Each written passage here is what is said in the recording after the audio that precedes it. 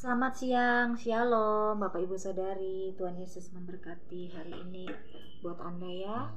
Salam damai sejahtera buat Anda juga ya. Shalom eh, shalom. Bapak Ibu, kita mau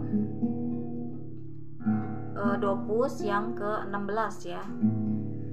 Saya percaya setiap kita pastinya ada Ada peperangan rohani setiap kita ya. Saya percaya setiap kita pastinya ada pergumulan. Dan setiap kita pastinya dan tentunya hmm, inginkan yang terbaik ya. Inginkan yang terbaik. Yang diharapkan tuh semuanya yang kita inginkan ya. Tapi kembali lagi ya Bapak Ibu. Biar kendak Tuhan yang jadi ya. Jadi kita mau serahkan ke Tuhan dan kita mendekat kepadanya baik itu perjuangan rohani kita untuk menjadi karakter seperti Kristus ya kayak saya juga ini lagi berjuang ya. Kalau saya lagi berjuang untuk menjadi karakter Kristus menjadi kudus ya. Jadi di sini makanya kita dengan puasa ini saya ada hasilnya ya. Jadi saya merasakan ada dekat ke Tuhan ya. Lebih kedekatan sama Tuhan ya kita mau nyanyi pujian kurasakan kasihmu Tuhan ya Bapak Ibu.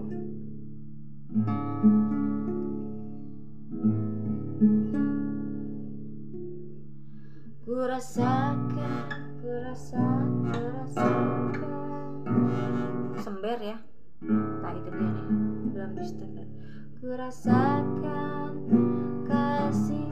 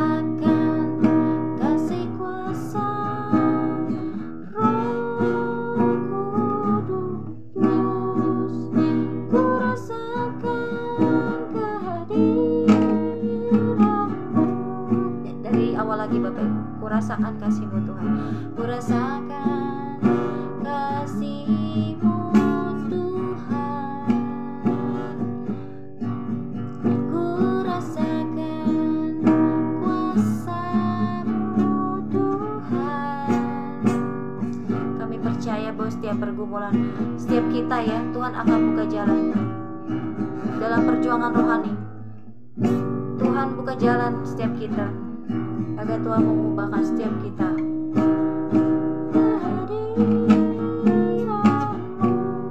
Kita mau nyanyi curahkanlah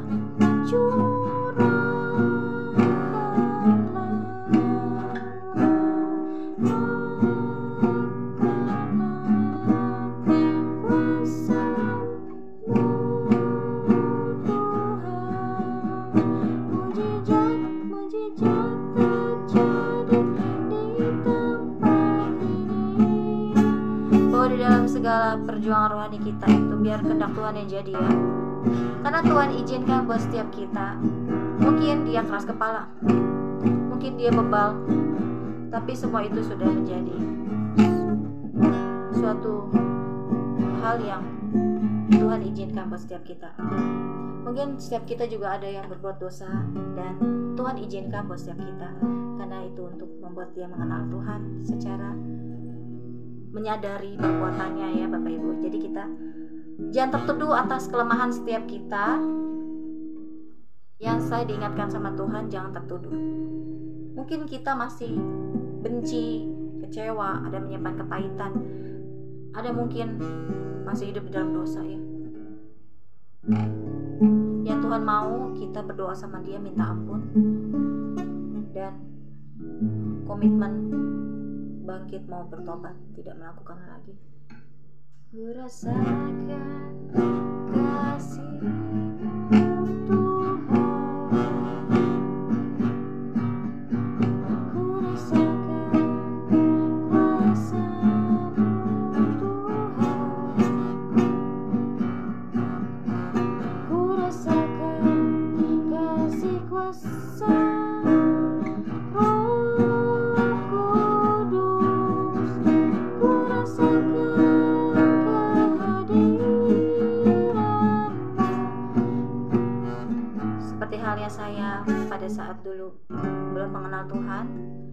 Izinkan saya hidup di dalam dosa, berbohong.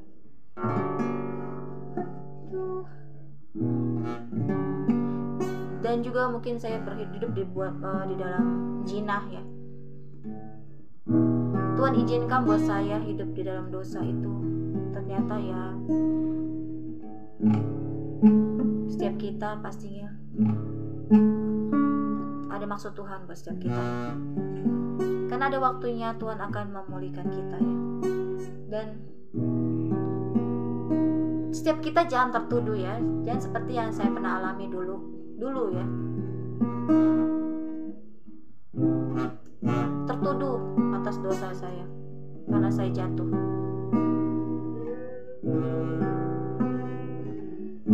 Karena itu pekerjaan iblis yang membuat saya jadi uh, kayak nggak layak saya di mata Tuhan kayak nggak layak gitu loh. Kayaknya nggak layak nih gue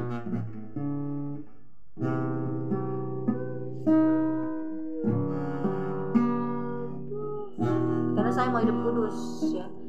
Jadi ketika saya jatuh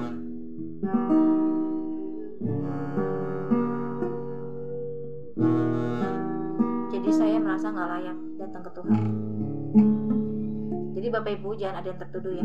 Saya nggak layak nih datang ke Tuhan. Datang ke hadirat Tuhan nggak layak. Tapi Tuhan mau setiap kita datang kepadanya ya.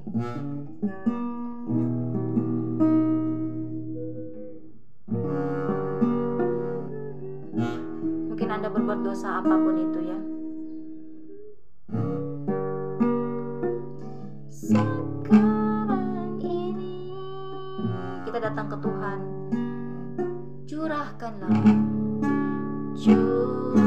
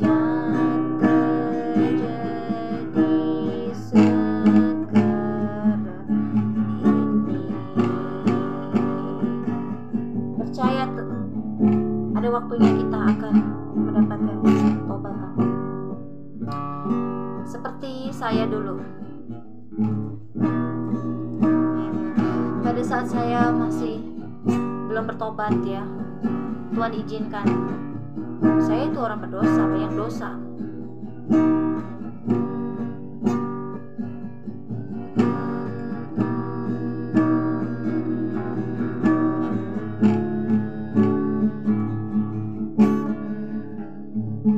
Karena setiap kita dulunya orang berdosa. Demikian orang-orang ODGJ tadinya orang normal demikian kita dulunya orang berdosa. Tapi karena Tuhan kita ditebus dosa kita semuanya ya. Jadi kita jangan tertuduh ya melihat orang benar. Orang itu kayak benar ya. Kita pun juga bisa. Kita juga bisa kok nggak hidup dalam dosa. Jangan tertuduh ya bapak ibu. Saya mau menguatkan buat anda yang sedang tertuduh ya. Karena Tuhan akan mengubahkan setiap kita. Dan yang Tuhan mau kita datang ke Tuhan berdoa sungguh-sungguh minta ampun marah sehingga zaman Tuhan terjadi. Kita mau nyanyi curahkan lagi ya ya. Kita percaya. Curah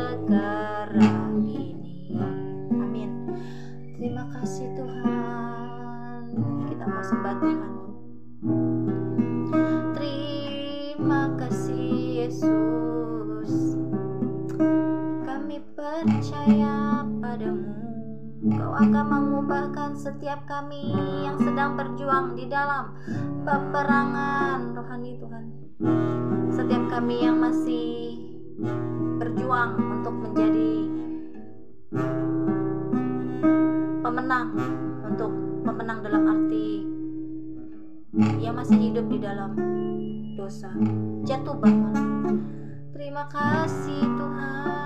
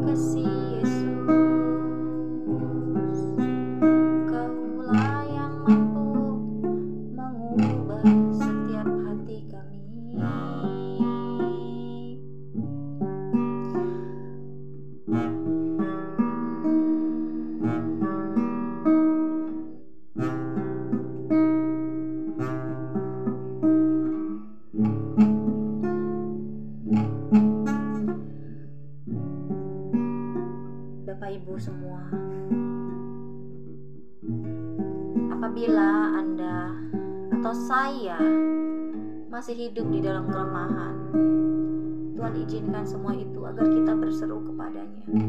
Tuhan tolong ubahkan Tuhan, ubahkan saya Tuhan, agar saya diubahkan menjadi hati yang baru, seperti Engkau Tuhan kudus. Tidak kompromi kepada dosa kami Tuhan. Kedagingan kami yang sebagai manusia pendosa Izinkan semua itu agar setiap kita berseru kepadanya. Ini adalah permohonan untuk mengenai perjuangan rohani. Menjadi sempurna sepertimu Tuhan. Ada lagi yang berjuang berdoa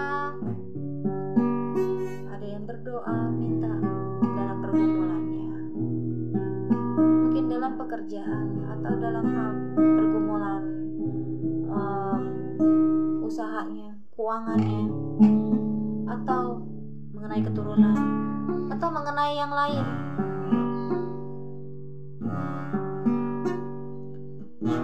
Serahkan ke Tuhan bahwa semua ada waktunya Tuhan. Bukannya waktu kita bukan apa yang kita mau tapi apa yang Tuhan kehendaki pada setiap kita. Apa yang Tuhan mau Bapak Ibu? Jadi jangan tertuduh apabila kita masih lemah. Tapi yang Tuhan mau kita bertobat. Kita bangkit datang ke Tuhan. Minta sama dia. Agar Tuhan pulihkan. Seperti kita minta tolong dalam hal berkat seperti doa orang yang sedang minta berkat Tuhan berkati saya. Usaha saya agar ramai agar banyak yang beli. Demikian di dalam kelemahan kita kita berdoa sama dia Tuhan ubahkan saya. Karena Tuhan mau agar kita tidak tegar tengkuk merasa kita hebat. Sehingga kita berkata ubah hmm. hatiku.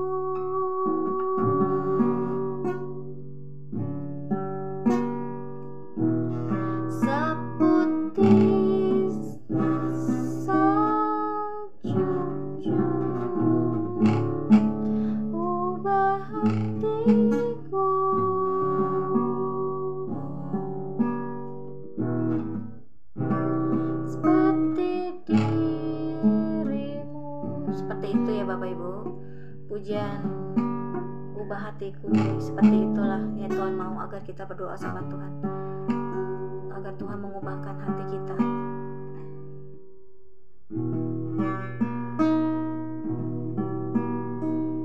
Dan Tuhan mau agar kita terus minta ke dia. Agar Tuhan ubahkan hati hamba Tuhan. Agar kami layak Tuhan. Agar kami kudus tidak kudis Tuhan Yesus. Oh Tuhan Yesus. Itulah engkau izinkan setiap kami masih hidup kelemahan.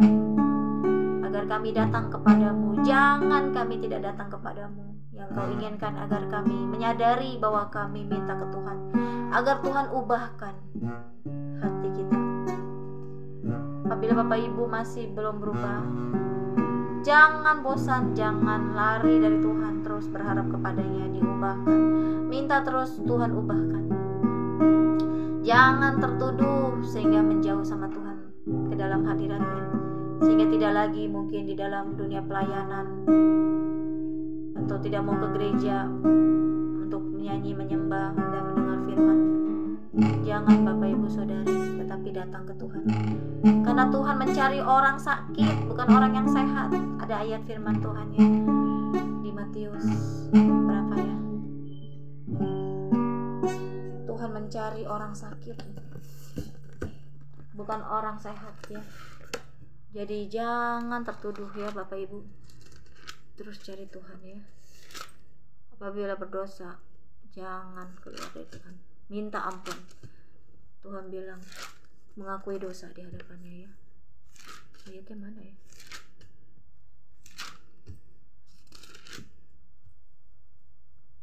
Bukan orang benar yang dicari Tuhan tapi orang sakit ayat 12 sampai 13 Yesus mendengarkan dan berkata bukan orang sehat yang memerlukan tabib tetapi orang sakit. Jadi pergilah dan pelajarilah arti firman ini. Yang ku kehendaki ialah belas kasihan dan bukan persembahan. Karena aku datang bukan untuk memanggil orang benar melainkan orang berdosa maka dari itu setiap kita Bapak Ibu jangan tertuduh sekali lagi ya. Jangan nyaman atas dosa kita yang kita perbuat. Kita cari Tuhan ubah. Minta ampun nama Tuhan. Minta ampun Tuhan atas dosa-dosa kami yang telah kami perbuat. Dosa-dosa kami kelemahan-kelemahan kami.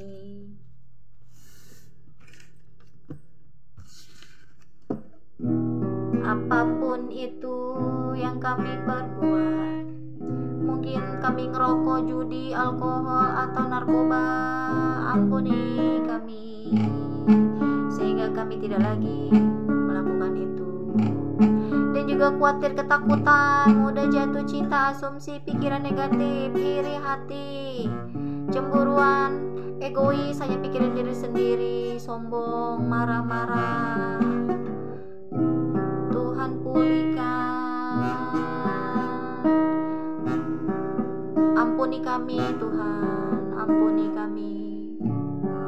Tersinggungan kepahitan keras kepala paranoid pornografi curigaan emosi suka membalas kejahatan orang suka ngebully orang suka usir sama orang suka selingkuh tidak setia pada pasangan atau pelakor atau buaya darat. Suka gosipin orang. Bocor mulut. Atau ceroboh atau malas lesbi atau homo. Tidak teliti ya kekurangan-kekurangan ini Tuhan Yesus. Kau izinkan setiap kami agar kami datang kepadamu minta diubahkan izinkan kami Tuhan. Kelemahan ini kami percaya Tuhan setiap kami.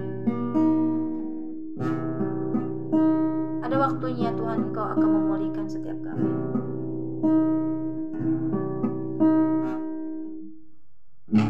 Sehingga kami tidak lagi menuntut atau kecewa kepada orang yang sedang berbuat dosa. Biarlah kami diberikan pengertian, pemahaman kepada setiap orang yang berbuat dosa, agar kami tidak menghakimi mereka. Engkau izinkan mereka jatuh, agar mereka berbalik kepadamu pada saat apa yang telah mereka tabur dalam dagingnya. Karena tabur tuai itu akan ada pada setiap kami yang membuat dosa Tuhan. Tabur tuai itu selalu ada.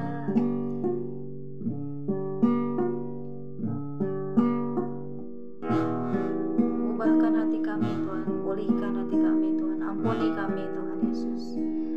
Sehingga kami hari ini mendapatkan kasih-Mu. Kami berubah dosa belenggu-belenggu atau keterikatan-keterikatan itu.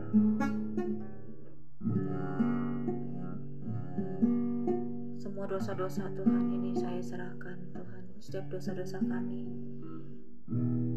yang ada di setiap kami Tuhan. Mampukan setiap kami Tuhan untuk melawan kelemahan dosa kami ini Tuhan agar kami tidak lagi hidup di dalam dosa. Inilah waktunya setiap kami agar kami datang kepadamu untuk tidak kompromi lagi kepada dosa. Biarlah kami mendekat kepadamu Tuhan. Intim Tuhan kepadamu.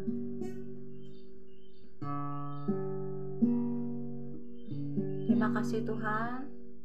Saya serahkan semua ke dalam tanganmu mengenai tentang pergumulan kami tentang mungkin keuangan, sakit penyakit, hubungan sesama, rumah tangga, musibah, kuasa gelap, atau hipnotis. Yang berulang tahun atau anniversary. Kau berkati mereka Tuhan. Kau buka jalan. Pergumulan-pergumulan mereka Tuhan. Biarlah mereka mengerti bahwa kehendakmu yang jadi Tuhan Bukan kehendak kami Mungkin ada setiap kami yang mau memiliki hati Ingin jalan-jalan ke luar negeri Atau ingin memiliki kendaraan bagus Tapi saya katakan semua itu biarlah kehendak Tuhan yang jadi. Karena itu semua adalah keinginan-keinginan kita semua.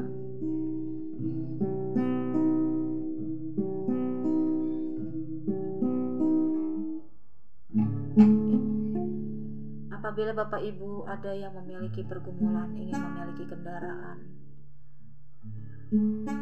atau mungkin rumah apa pun itu ya Bapak Ibu Saudari. Atau mungkin mau keluar negeri yang pernah saya dengar ada orang mau keluar negeri pergumulannya. Tapi jangan lupa semua itu adalah kehendak Tuhan. Kita tidak bisa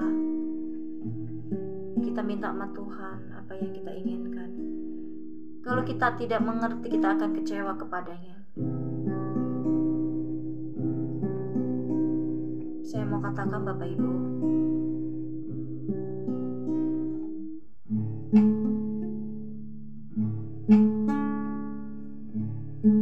Itu semua kalau Tuhan tidak kehendaki itu tidak akan terjadi dan apa yang kita impikan jangan terlalu tinggi nanti kalau Anda tidak mengerti bahwa semua kehendak Tuhan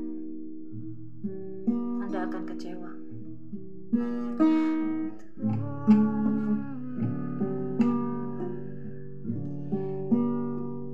Biarlah setiap kita mau pahami dalam segala pergumulan apa itu. Kayak saya mengenai anak. Saya tahu semua titipan Tuhan ya. Dan mengenai saya cuek dan suami juga cuek saja enjoy tidak punya anak. Saya nikmati berdua kita tidak ribut. Semua itu karena kasih karunia Tuhan juga. Seperti orang-orang beberapa yang saya lihat. Sampai berantem sampai stres sampai stres karena mau punya anak. Tapi yang Tuhan mau agar saya bertindak seperti iman tanpa perbuatan nol. Demikian saya diingatkan Tuhan ayat itu. Dari kemarin-kemarin ya Bapak Ibu. Seperti saya mengajar bisa mengajak suami saya untuk mesbah doa. Saya bertindak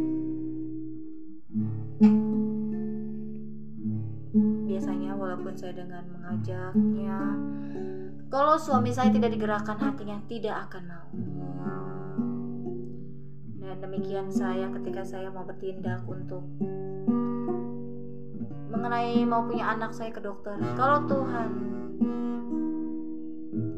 tidak izinkan saya punya anak saya pastinya mungkin saya tidak punya anak. Berarti memang Tuhan tidak izin belum izinkan saya punya anak. Atau mungkin Tuhan tidak izinkan saya punya anak karena saya untuk melayani Tuhan. Saya mau melayani Tuhan sampai saya bernafas sampai kapan pun itu. Baik suka dan duka Tuhan. Terima kasih Tuhan buat firman. Ayat ini mengingatkan saya mengingatkan setiap kami agar kami bahwa Engkau ingin kepada setiap kami yang berbuat dosa datang kepadamu. Berdoa kepadamu agar kami tidak tertuduh dan tidak menjauh dan tidak takut datang ke hadirat Tuhan. Terima kasih Tuhan. Terima kasih yang kau inginkan pada setiap kami agar kami mengakui dosa di hadapan kau. Maka terjadi kesembuhan pada saatnya kalau memang sudah Tuhan tentukan. Terima kasih Tuhan di dalam nama Tuhan Yesus. Haleluya. Amin. Bapak Ibu Saudari, hari ini kita sudah dopus ya, yang hari ke-16. Uh, jadi hari ini Tuhan hmm, apa memberikan saya ayat ya surprise ya ini datang dadakan ya mengenai tentang bahwa Tuhan mau pada setiap kita uh, bahwa Tuhan mau agar setiap kita itu datang ke Tuhan minta ampun ya. Dan siapa tahu uh, dan kita yang seperti saya alami dulu saya minta ampun sama Tuhan minta diubahkan tapi saya selama 9 tahun Tuhan izinkan saya keras. Ya jadi memang mengenai tentang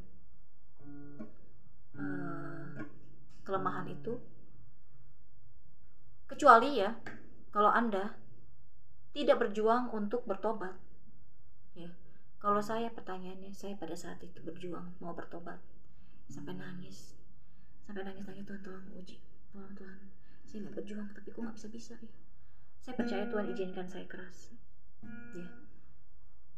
Jadi uh, diizinkan Tuhan saya bebal ya, dan itulah untuk saya kesaksian tentunya ya untuk menceritakan masa lalu saya kalau dulu tentunya saya nggak mau dibilang bebal. Saya nggak mau ya. Merasa saya benar aja. Pokoknya begitu ya. Namanya juga kita lagi bebal. Mau sih ditegur? Sampai dulu uh, saya uh, kalau dibilang salah nggak mau ya dulu ya. Kayaknya saya tuh kalau dibilang kalau saya saya mengakui. Memang harusnya saya sebagai istri tunduk.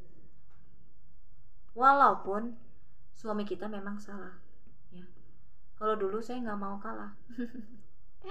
Suami begitu gue juga bisa. Masa gue nggak? Begitu ya.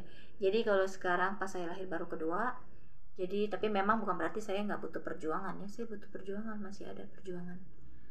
Saya mau mencapai kasih agape ya. Mau hidup kudus terus ya. Berjuang mencapai. Hidup kudus mempraktekkan hidup kasih agape itu ya kasih Allah ya.